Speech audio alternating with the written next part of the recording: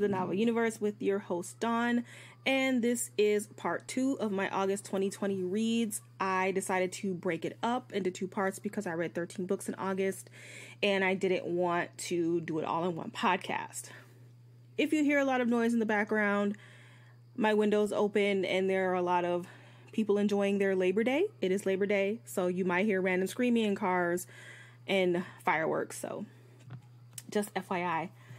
Before I get into the podcast, I'm going to start doing a little disclaimer when I just do the podcast by myself, just for new listeners. And uh, the first one is if you want to read my my reviews in like writing form, um, you can follow me on Goodreads. My handle is Bang Bang Books. Um, second disclaimer is I am a teen librarian, and third disclaimer is I am black. I like to say that because a lot of times I review books by black authors, and it's just better to know that the reviewer is black so that you don't think I'm saying something, um, what's the word I'm looking for? Insensitive. All right, let's get started. So, the next book I read in uh, what month is this? August, is Burn by Patrick Ness. I gave this a four. It's a reluctant four. At first, I had like a 3.8, but I think I bumped it up a little bit. So, uh, okay. Well, I have to do a summary. I hate doing summaries. I don't know why, but I try to do them in 30 seconds or less because I hate doing them. So, let's see if I can get this in 30 seconds or less. I doubt it. Burn is about Sarah. It is set in the 1950s, and Sarah is a biracial girl. Her father is white, her mother is black. She lives in, I want to say, Washington State. And in this world, dragons exist, and her father has hired a dragon to help tend his farm, which is kind of a no no, but he has no other choice. Uh, Sarah's mother has passed away, also, by the way at the same time, there are people who are, have a cult of they love dragons and they have a cult about them, and somebody is hunting the chosen one, and somebody is hunting the person who's hunting the chosen one, and it's a Patrick Ness book. That's all I need to say. I don't think I did that under 30 seconds. I didn't have my timer ready, so I'm just going to pretend that I did. Well, let's get started into this review. All right, so I'll start with my dislikes, and my only dislikes was that my was my only dislike is that okay grammar. I'm an English major. I don't know why I don't know grammar today. is uh, it was too much info dumping, and I feel like Patrick Ness is a, a good enough author to not do that. So I was really shocked when that happened. But the info dumping also contributed to a convoluted plot. Okay, so in this book we have Casimir, and he is our dragon, and he is tending to Sarah's father's, uh, not her garden, their farm. And some things have happened, and Sarah's like, What's going on? And Casimir basically just info dumps everything that's happening. And then midway through the book, he was like, Oopsies, I'm wrong. It's actually this. And then another info dump. And because the dragon lore and what's going on in this book isn't weaved into the story. I kind of was confused because of the big info dump because he was giving a lot of information and it wasn't like it's tropey information. It's not like I've read this in another book before and I can kind of like fill in the gaps because this is totally different here.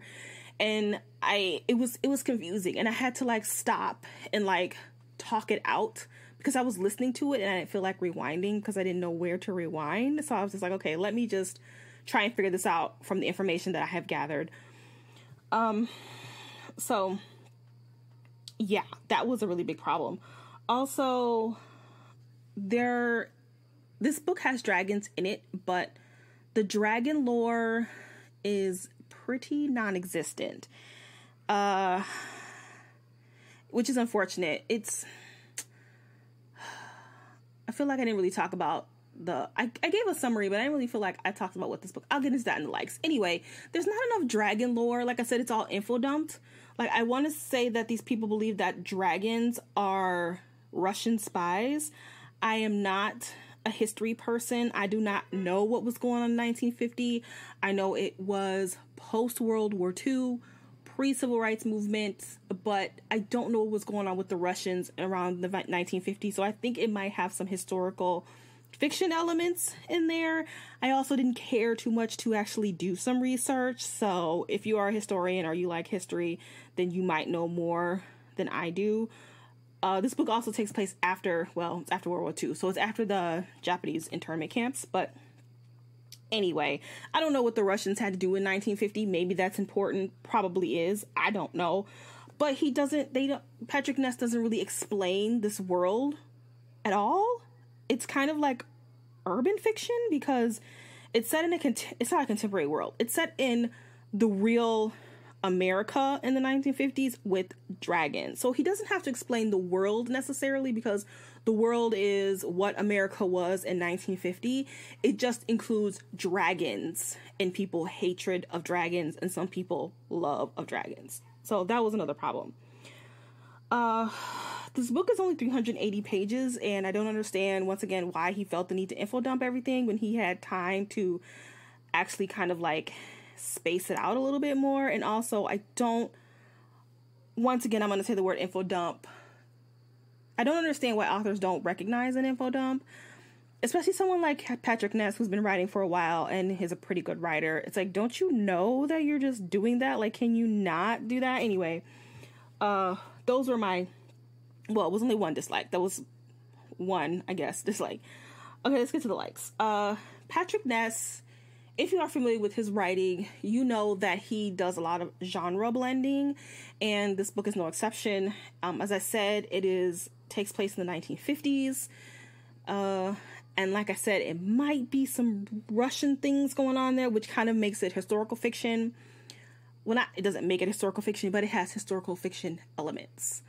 There's also science fiction because there is a multi universe that is not a.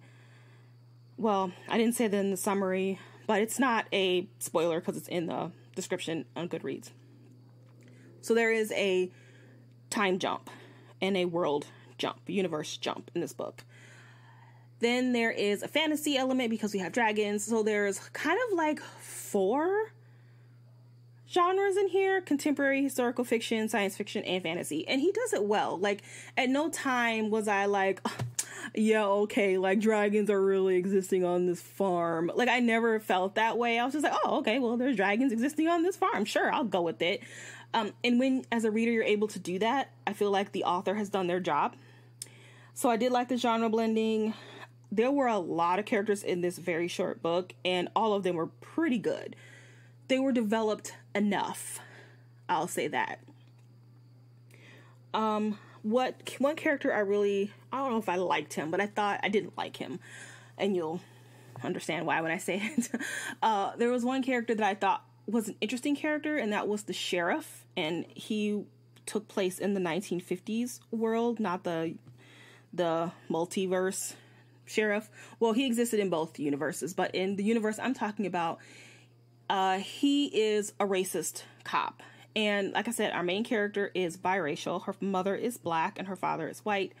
And her boyfriend is Japanese. And her his mother had died in the Japanese internment camps. And so the sheriff encounters these two characters. I believe his name was Jason, the boyfriend. Sarah is the girl, the main character. And he's kind of he's we're listening to his um conscious or you know his inner monologue as he's stopping these two young people. And he's saying in his head that as a cop he knows what he can get away with. And i found that very interesting because i'm filming this in august 2020 and we are basically on our second civil rights movement with black lives matter. And as a black person, I do not know what goes on inside the head of a racist cop. I don't know what they're thinking.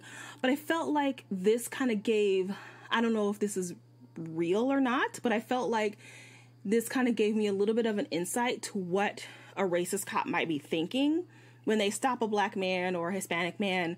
They may be thinking, I know what I can get away with because they tend to not be prosecuted when they kill people. Uh, based on race. So, I don't know, I kind of I kind of liked that part. I thought it was interesting. Um Is there another character in this book that I really liked? No, not really. I thought they were all done pretty well across the board.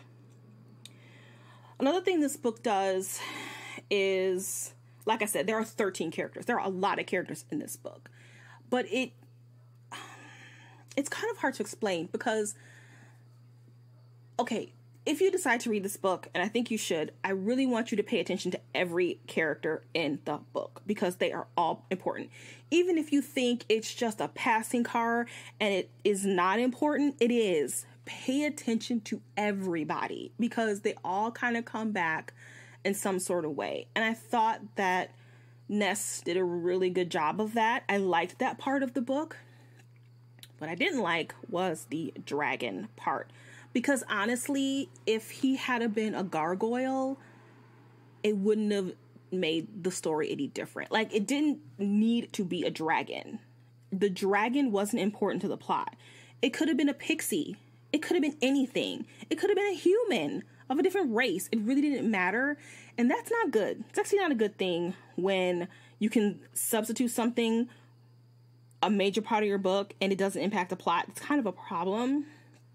I really wish he had to use the dragons in the story a little bit better. Another thing um, Patrick Ness does well is he bends tropes. He writes, and it's not necessarily writes against trope. He like purposely goes out of his way to write against a trope. So if you read The Rest of Us Just Live Here, at that time, every book was about the chosen one. It still kind of is, but really at that time, every book was about the chosen one. And Patrick Ness wanted to write the story about the kid who lives down the street from the chosen one and is just living their life and how the chosen one's shenanigans are impacting that person's life.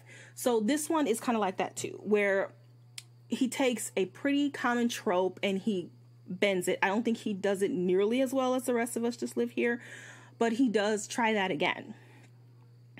Okay. Um, I was looking on Goodreads because this book actually kind of has, in my opinion, it's a lower rating. It has like a 3.7 or 3.8 or something, which means it has more threes and fours. And I was trying to figure out why. Oh, well, I was not trying to figure out. I was reading like the lower ratings and trying to see why everybody didn't like this book. And what I've discovered, what a lot of people said, was that there wasn't enough dragons in it. They are correct. Here's what's up when you read a Patrick Ness book, do not go into this book with any preconceived ideas. Patrick Ness writes weird YA, which is a subgenre of contemporary and like um, science fiction. It's weird, it's different. So when you are getting yourself into a weird YA, you can't say, well, I think this is going to have a love triangle or I think this is going to have amazing dragon fights because it's not. It's never going to be what you think it is. So when you read a Patrick Ness book, this is my fourth book by him. Just just go in with the open mind as you read this book because if you go into this book thinking you're going to get a lot of dragons and you don't get it and you give it a 2 because of that, technically that's not Patrick's fault, that's your fault, but just go for the ride. Just just hang in for the ride and just have a good time as you possibly can. The next book I read, so what basically what I'm going to do is go uh, back and forth. So I'm going to do like a good rated book and then a lower rating and good and lower. So the next one I read was The Inheritance Games by Jennifer Lynn Barnes. I gave this a 3. All right, let's do a 30 second summary. What's her name character name? Avery. Okay. Avery is kind of poor. Well, she's not kind of, she is poor. Her mother has passed away. She doesn't know who her father is, and she is living with her sister and her abusive boyfriend. She's sick of her abusive sister's boyfriend, so she goes and lives in her car. And then when she's at school the next day, they're like, hey, this billionaire has left you money. You need to get on a plane and find out what's in his will. She ends up inheriting his entire fortune. Off we go. Yes, seven seconds. Okay. So if you've seen the movie Knives Out, this is Knives Out if you haven't seen the movie Knives Out, you should see it because it's a really good movie. And it's basically what I just said. It's about a family. It's about this girl who's just a, a working class girl whose very wealthy employer leaves all her money to all his money to her and the family is pissed. This happens in this book as well. Once again, before I start, this is my third Jennifer Lynn Barnes book. I loved The Fixer. I thought it was a great book if you want to read a political mystery intrigue book, I highly recommend The Fixer. Um, I didn't actually this is my fourth book by her. I didn't like the one book with all the roses on the cover. I hated that book. But I really like the Fixer, so I was like, okay, I'm gonna give this book another chance. I'm gonna give her another chance because I kind of like her writing style. I think she's a really good mystery writer. Her pacing is usually pretty well done. Her characters are usually pretty good. She uses off of that shitty romance trope. So I'm like, let's go. Disappointed. And here's the main one the execution. Okay, so this book is the main character Avery has never met this guy who's left her money. She lives in I don't even know, but he lives in Texas. She doesn't even live in the same state as him. She's never met this man. She doesn't know why he's leaving her money, and so it's kind of a mystery. And so we we have a mystery. She's trying to figure out who he is and why he's left her all this money. And of course, his family is very upset because they he has left them nothing. And this is the type of book where there are no clues for you as the reader to kind of figure out on your to figure out along with the main character. This is the type of book where you are just there to be along for the ride as the main character tries to solve mystery. That's fine. However, if you're going to write a book like that, then your characters, in my opinion, your characters and the mystery have to drive the plot. They have to be interesting because if I'm not spending time trying to figure out the mystery, I'm spending time trying to get to know these characters and getting to like these characters. However, if you don't do that, then I'm bored, and that's what happened. I didn't like the main character, she was a snooze fest. Then there are four grandsons, so the guy who dies has four grandsons, and two of the boys were quirky. And if you've listened to my podcast before, you know that I have said in the past that it is against the law to have two quirky people in the same book. You just can't have that. It can only be one. There are two here, and neither one of them are any good. I believe one of them was supposed to be the Chris Evans from Knives Out, which Chris Evans is hot as hell, by the way, and he was great in that movie. But you can't have two quirky Chris Evans. You can only have one. And then there's a sub mystery, like a, pl- a B plot, where there's another death on this compound where this guy lives. And it like drags out through the second half of the book when all the main character had to do was say, Hey, how did she die? Problem solved. We didn't need to spend 150 pages on this shitty mystery that I could give a care about. All she had to do was say how she died. That was it. It was horrible pacing. Horrible pacing. It was so slow. Like I said, the characters, booty. The mystery, booty. I just didn't care. And I gave it a three because it wasn't a bad book. It wasn't terrible. I've read way worse. As a matter of fact, I read way worse in August but it just wasn't good either. It was just kind of meh. This is a good book for if you are a teen librarian and you're looking for a book to give to teens who like mystery, but they're not a big reader or you know that they can't take like a really dense mystery story, then I would say give them this book. I only had one like in this book, and that was the sister. I think her name was Libby she was a good character because there were times where Libby was kind of a dinkus and a naive, not naive, but she was just too nice. And Avery called her out on her shit all the time, v- very deservedly so. She called Libby out on her shit, and every time Libby would be like, I'm your sister, I am your caretaker, and if something is happening to you, you need to tell me. She never fought with Avery. She never was disappointed in her. She supported her the entire time. And I just thought that was great. That's the only thing I liked about this book was the sister. Okay. The next book I read, I'm supposed to go. All right. Well, it seems like the rest of these books that I read are not books that I particularly enjoyed. So, except for the last one. So there's no like higher book now. Looks like we're going good, meh, bad, meh, meh, really good. All right, uh, let me get my Goodreads. I'm kind of stalling for Goodreads here. The next book I read was Lobizana by Romina Garber. I gave this a two. A big old two. Alright, I need to pull this up on my Goodreads because I have forgotten the main character's name and I read this two weeks ago.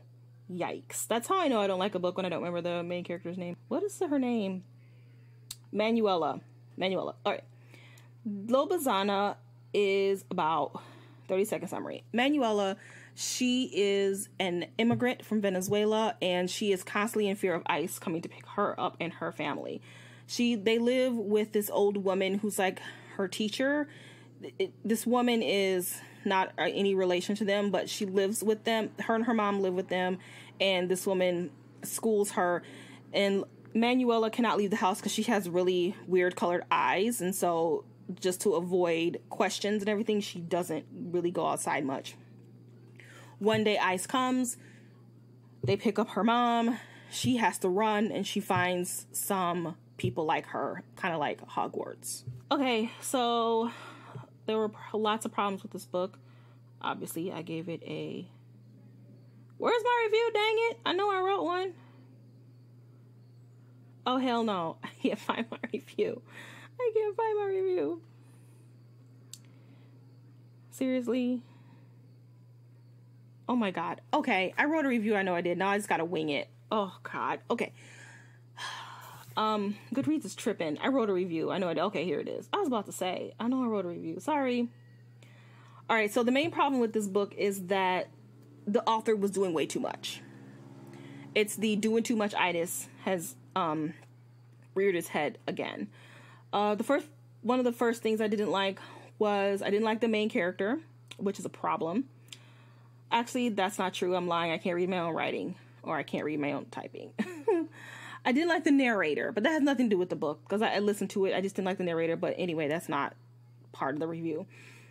Uh, as I said before, she ends up going to Hogwarts. There are so many Harry Potter references in this book. It's disgusting. Like I, I know I can tell you love Harry Potter. I get it, but Yikes. The romance, yikes. she meets this guy, and he's hot because he's got on a leather coat, and he's nice to her.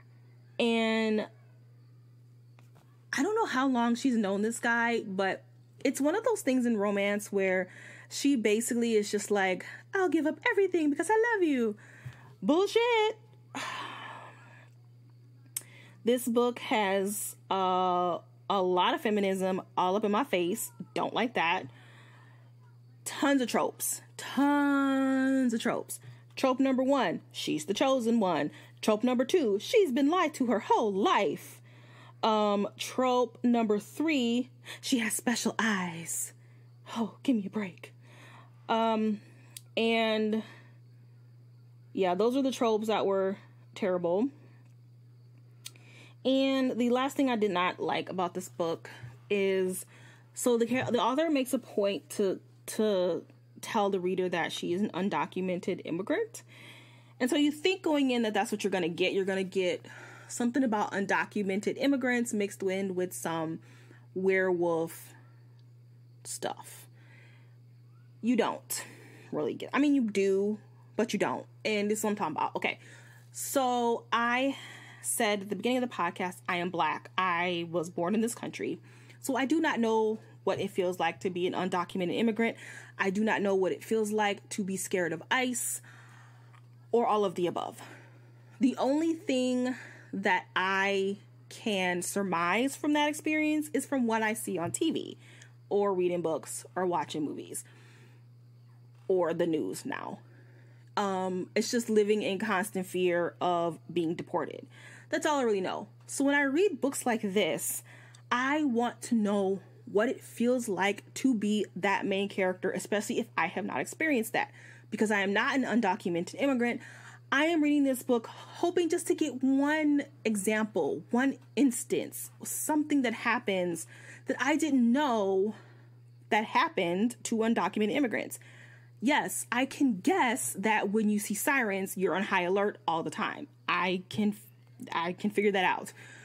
When the knock comes on the door and they yell ice and you're trembling under the bed, yeah, that's a human response. I can figure that out. I'm looking for something different, and I'm going to give you an example. As a black woman, there are lots of things that black women have to deal with. And I'm going to tell you a couple of those that you probably didn't know, especially if you are not black. One of them is my hair. My hair is natural, meaning I have it isn't an afro, but I wear my hair braided all the time, mostly because I don't know how to do my hair, and so I just wear it in braids because I, I just don't feel like dealing with it. The last time I went out to look for a job, I took my braids out and I flat ironed my hair because there was a thing called hair discrimination. I didn't want to not get a job because the person interviewing me didn't want a person with an afro or braids at their library. Okay, that is a thing. If you are not white or if you are not black, sorry, you may not have known that because why would you? Why would you know that unless you have like a, a, a, black husband or wife or you have a lot of black friends and they tell you, I don't know, but you wouldn't know that. Another example of not just being a black woman, but being just a black person. When I was in high school, I took a trigonometry class my senior year. It was like my like the first semester in senior year because I don't I don't know why I was an English major. I don't know why I wasn't particularly great at math, but I just wanted to challenge myself, I suppose. And in this class, there were a lot of AP students or advanced placement students and this was in the 90s by the way um, i was the only black person in this class and i hated that so my trig teacher decided it was a good idea to tell us not to tell us but he thought it was a good idea to post our grades by name on the blackboard and so I was like, Are you fucking kidding me with this? I guess he thought that was going to make us work hard. Well, it did. I have never worked so hard in my life because as being the only black person in that class, in a class of a bunch of like advanced placement students, and most of the kids in this class were in the top 10%, one of them was probably valedictorian, salutatorian. I felt like I had the weight of every black teen in that school on my shoulders. And I went to a pretty big high school. And it was so much pressure. I felt like oh my God, if I am in the middle or at the bottom of this list, they're going to think that all black kids are dumb. And I couldn't do that. So I studied the hardest I've ever studied in my life because I didn't want to let my black students down. What kind of bullshit is that? I actually did get the top. First quarter, my name was on the top. And yes, I got a lot of, oh my God, you're on top? Yes, motherfucker, I'm on top. So that is what it feels like to be a black person in America once again, if you're not black, you may not have known that. Sometimes black people take the weight of other black people on our shoulders, and it is stressful. I was expecting that from Lobizana. I didn't get that. Instead, I got tropes. I got a bad romance. And another thing I got, which was insane, was Manuela has her mother has just been picked up by ICE. She's seen it. The old woman that she lives with is in the hospital for some kind of trauma she suffered. And Manuela, her mom was like, go, go, go. So she escapes. She finds the school by accident and she is uh, living her best life at the school. Forgot about her mama. She is having boyfriends. She got new best friends. She on the soccer team scoring goals. And she is like, Ice who? Mama what? I was like, are you kidding me with this? So yeah. Um, I I didn't like anything about this book. Nothing. I'm I don't know why I gave it a two. Technically, but I don't like anything about a book. I give it a one. But I think because its own voices, I feel bad, so I just was like, okay, I'll give it a two. All right, next book is A Song Below Water by Bethany C. Morrow. Ooh, I gotta do a summary. Okay. Oh Lord, what are their names? I read this last week and I've already forgotten their names. Jeez Louise. I literally don't remember these girls' names. Tavia, Tavia, and Effie are kind of like adoptive sisters, and Tavia is a siren. And in this world, sirens are treated badly because they can influence you. People don't like sirens. And uh I honestly don't know what this book is about her best friend doesn't know what she is. She thinks she's a mermaid, but she's not quite sure. And then some shenanigans happen. I don't even know what the hell this book is about. I give this book a three. All right. Um, this book is not a bad book. It's it's fine. It's just kind of meh. That's why I gave it a three. But it's not bad. but it's not great either. All right, so uh, first problem is that this book is only 280 pages. That's really short. However, it felt really long. I I listened to it, and the audiobook is pretty is okay, but I listened to it and oh, I was probably midway through and I was like, oh my God, is this book over yet? That's how long it felt. The biggest problem with the book is that it's boring. It's there's no nuance here. I I've heard these voices before. I've read this plot before. I just like I said, it's not a bad book. It's just I've it's familiar. It's familiar. I've read this before. If you are new to YA fantasy, go for it. I mean, sure if you have teens who are new to YA fantasy, then you know you could give them this book. Maybe they are maybe they want to read some diversity or maybe see themselves in a book. I then you can give them this book, but um if you're an adult reader who reads a lot of fantasy, you might be bored. Okay, so this book has a lot of Black Lives Matter over overtones in this book. Uh, there is a pretty on the nose metaphor of sirens are hated, just like I don't want to say black women are hated, but black women got problems.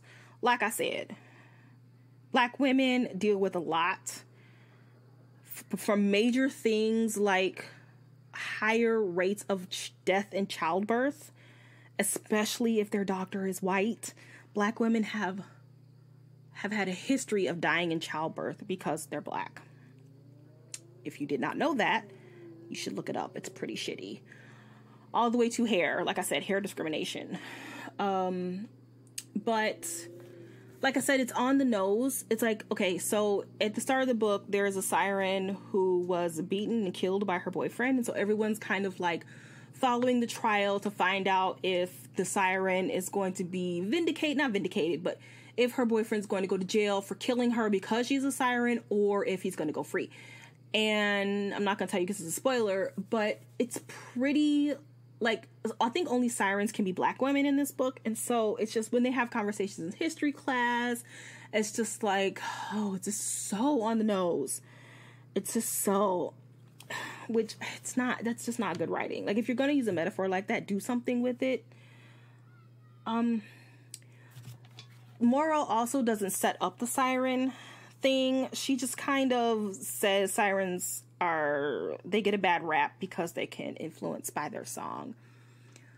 But she doesn't really go into the lore of sirens. She also doesn't really talk about how sirens are hated. Like I said at the beginning of the book, this is a woman who's beaten and killed by her boyfriend because she's a siren. But that happens at the very beginning of the book, and I did not have any emotion toward this woman or her situation because she wasn't set up for me to care. It was just like another thing. And it's a lot of telling, a lot telling, not a lot showing. Um, I'm gonna give you an example. So if you read the fifth season by MK, N.K. Jemisin, sorry. In the fifth season, our main character, Essun, see, I remember Essun's name, and I read that book in like March, and I read this book two weeks ago, and I already forgot their names. So Essun is an orogene, and so are her children. And her husband killed her three year old because he was an orogene. When that moment happens, you are distraught because Jemisin set up the book for you to understand what it feels like to be an orogene and how poorly they're treated. Morrow doesn't do that here. So when things happen to sirens, I'm just like, oh. I mean, because it is a metaphor for black women, I can sympathize because I deal with that shit all the time. But if you're not black or if you're not a woman, then how? Why would you know? Like, you don't get that metaphor. Why do you care? And yeah, it was just not done well. Uh, oh, oh, there's a villain in this book too. She's your classic mean girl and she was shitty. I don't understand what the hell purpose this girl was. It was. I hate it when a villain is done bad. Villains are my favorite, and when you do a villain bad, I'm not gonna be happy. And I wasn't happy with this villain. I like the attempt. I appreciate what she was trying to do with the whole siren thing, but it just was not developed at all. Oh, oh, oh, there was one other good thing. There's a gargoyle. I am not interested in gargoyles. I think it's like, why would I think a gargoyle It's sexy? It's stone and their faces are hideous. However, there's a sexy gargoyle in this book, and that was what I was reading it for. I was like, okay, let's get to the sexy gargoyle. So the gargoyle was the gargoyle, which I thought was pretty cool.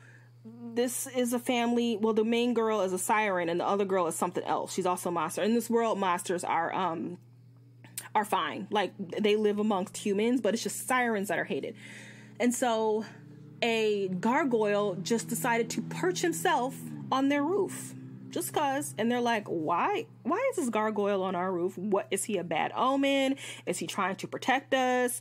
And he like moves and you can like talk to him and so but he's like really chiseled and cut and hot and I was like, hoo hot gargoyle. So if you're looking for some hot gargoyles, you know, I guess you can give that one a try. All right, the next book I read was Crier's War by Nina Varela. Okay, here goes my description. What's our main character's name? Crier. it's the title character. Okay, so this book is I don't know, there's no it's science fiction, so there's no real setting. And but in this world, androids have basically taken over humans and they are um, the leading class and humans are the oppressed class and Crier is the daughter of the emperor or the king i'm not sure which one uh the sovereign daughter i don't know let's just go with emperor she's the daughter of the emperor and then there's Ayla, who is a human, and her entire family had been killed by the automatons. Automatons? Yes, they're automatons. What did I say? Android? They're not androids, they're automatons. But they look human. And so she is seeking revenge and she is going to kill Crier. Plot twist, she falls in love with her. Oh my god, I'm so sick of that trope. This is the third book. The third book I read this year where it might be the fourth book now that I think about it. Sorry, that was email. This might be the fourth book where this happens. Oh my god uh, where the main character is set out to murder someone, and then they be like, "Ooh, I love you now." I'm so sick of that trope. Can we? Can someone recommend a book where they actually kill the person they are intended to kill? Because I want to read that book. Okay, I gave this book a three and a half. Uh, this book had such potential too. I was really bummed. All right, so the main issue I had was uh, it was the the supporting characters. I felt like this book focused so much on Crier and Ayla and trying to develop their romance. It kind of forgot about the other characters that were actually more interesting than the two of them. In particular, the king, Crier's father. He is. Did I say we're gonna call him the emperor? Let's call him the emperor. He is supposedly to to the peep to Crier and the automaton nation, he's kind of like the author Arthur Weasley, where Arthur is very interested in muggles and he studies muggles, and that's his job in the ministry. And he's really interested in Harry because he's a muggle or he was raised by muggles. So he's kind of like that, where he's like really interested in humans and how they celebrate and how they interact. And he wants automatons to kind of emulate this. And he wants the human race to have jobs and food, and he hates they're starving. But to the humans, he's a fucking tyrant. And I liked that. I was like, okay. Um, we have two perceptions of the same man. And the reader kind of sees both of those sides. So it's kind of like, well, what kind of a person is he? Of course, he's probably up to no good because no one cares about an empathetic king. Uh, but his storyline wasn't really developed. The second character that was really good was the the betrothed. Crier was betrothed. I can't remember his name to some guy, and he was kind of a. He kind of like started the war over the humans, and he won the war or something like that. So he's heralded but once again, he's kind of like the emperor in that he has like all these ideas, and to some people, those ideas are great, but to some people, they're like, ooh, ooh, ooh. And he's a very interesting character because he's up to some hellish shenanigans, but on the surface, he's a really nice guy. And I kind of wanted more of him. Once again, didn't get any. And then the other character that was really good was I don't know her name. I'm just gonna call her Queen Junga. That's probably wrong, but she is. There was a, a land that kind of seceded from the rest of the world, and she is the queen of that world, kind of like Jon Snow. he was like, "I'm the king of the North." And she comes to visit, and she is fascinating. Once again, she only got a chapter. Now, she's probably going to be in book two. It's probably going to be a lot of her in book two, and probably the betrothed as well. However, I don't care to read book two because I didn't really like book one enough to read book two. If those characters had been in that book, then perhaps I would have been willing to read book two, which I think comes out either this month or next month, September or October. Um, what else? Okay, the world. I like the idea of the world, even if it is a robots are taking over the world thing, which has been done to death. But I liked it, but I felt like there was something missing. And I think it has to do with my first point, which was the character development. Some of it were, were underdeveloped. And one thing about this book is that automatons, of course, lack humanity. They don't have a heart. That is how they uh, differ from humans the most.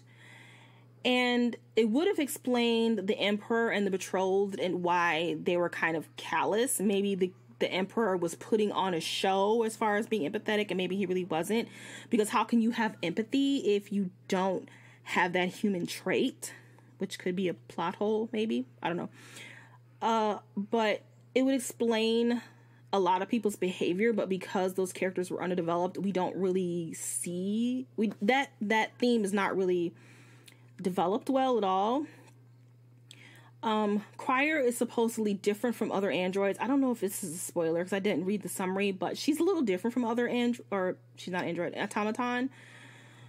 Uh, but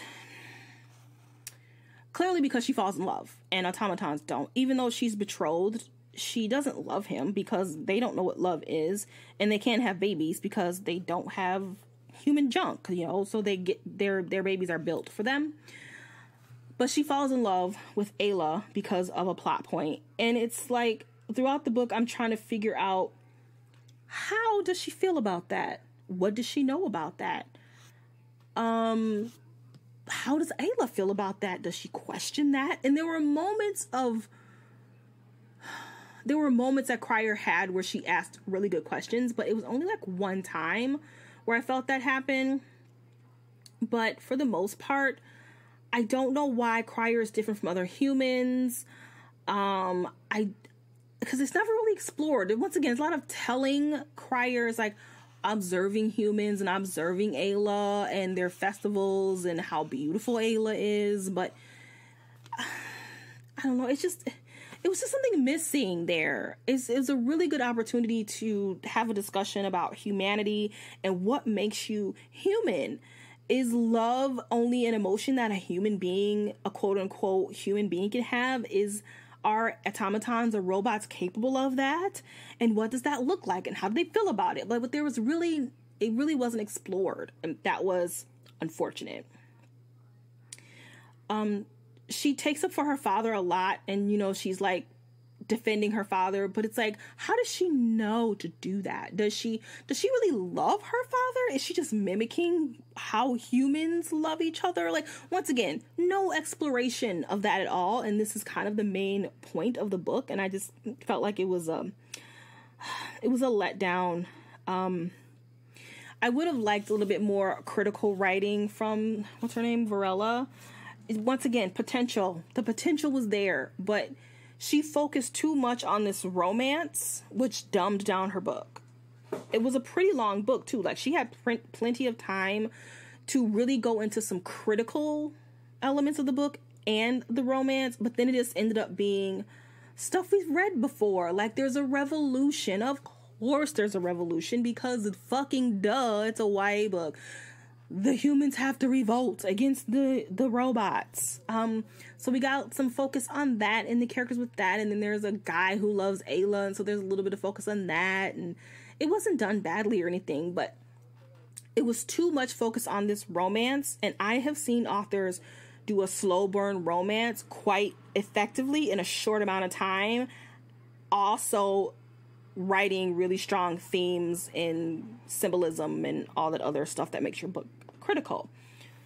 So, yeah, unfortunately, I mean, a 3.5 isn't bad, but it's actually not good enough for me to read book two. I won't be reading book two. I do think you should read it. I mean, there's something in here that I think a lot of people will like. I personally didn't like it enough to read book two. The second to last book I read was The Black Kids. I have forgotten that author's name because I did not write it down. Oh, I forgot I was going to talk about it. Uh, Christina Hammonds Reed. I gave, I'm not going to say what I gave that book. Uh, Ashley and I are going to be doing a more in depth review of that in the next podcast.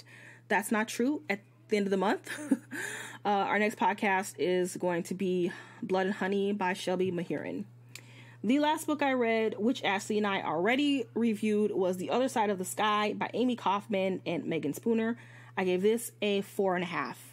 I really like this book. This is probably one of the highest rated books I've given this year. Uh, the only other one was As the Shadow Rises by Katy Rose Pool. That's book two of There Will Come a Darkness.